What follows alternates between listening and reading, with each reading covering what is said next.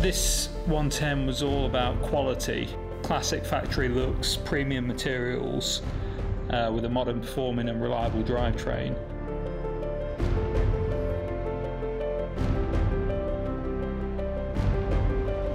The Cavalry Blue was based on the, the Land Rover Olds Blue, but uh, taken a few shades lighter. Um, it was completely custom. There isn't really a limit to what we can do paint-wise here at ECD.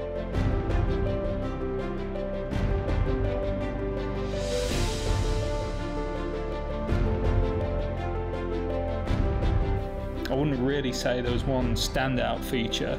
It was more so how the overall product came together.